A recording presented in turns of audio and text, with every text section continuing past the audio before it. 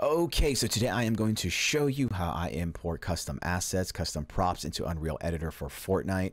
There's various ways to do this. The way I usually do it is by working in an external 3D software, and there's so many different types out there. The one I am using today is Blender. So I'll show how I do it there, and if you are using another type of 3D software, this might give you like a good example and some ideas. So here we are with our monster, and I also gave it a party hat today. And if you see, I have the party hat as its own separate object, and that's for a reason that I'm going to go over right now once we get back into Unreal. We also have like a skeletal rig here, but I'm not going to touch that today. We have some lights all around.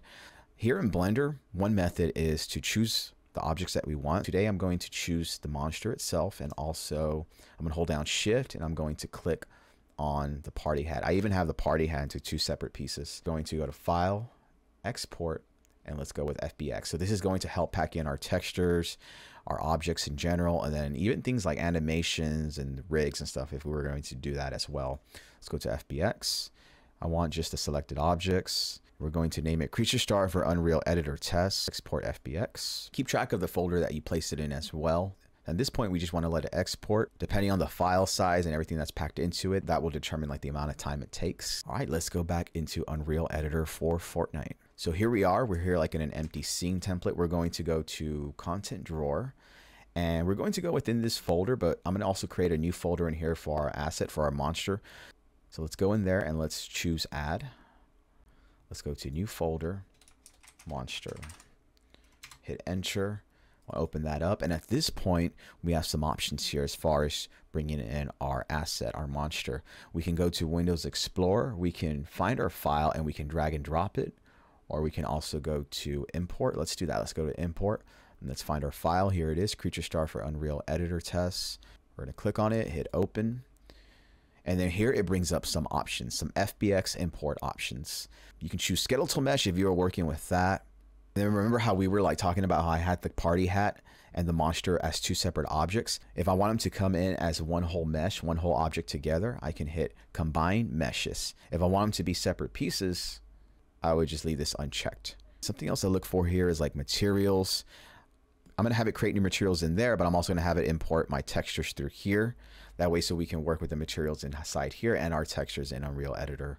And then you have the options to import all files with these same settings, or let's just import with these settings for now into this object. So we can hit import. And now we let it import our FBX mesh. So at this point, you are going to see a message log. Here you can look through it and see if there's any type of messages that might be useful to you as well. It's giving us something here about smoothing group information.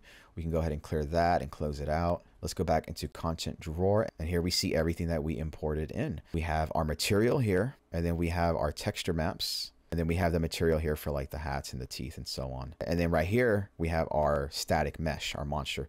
So we can click and drag it right in.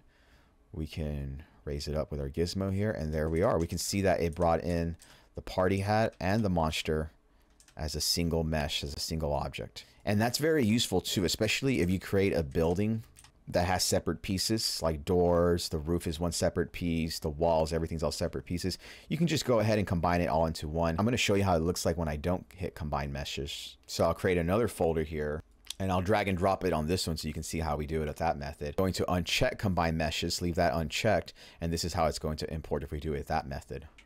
I want to do this too so you can see how it would look separated. And of course, here in our outliner, we have everything that we have in our scene here. All right, we clear the message log out. We can close it. And as you can see, now we have our, you can see we have the same assets here, but now since we didn't combine the meshes, our monster is on its own. And then our party hat, it's in pieces on its own here and different things. Now, let's say that we didn't combine the meshes, but we want them, right? You have some options here too. You can go back and re-import it, combine them and so on, or you can choose the objects, hold down shift and select each one.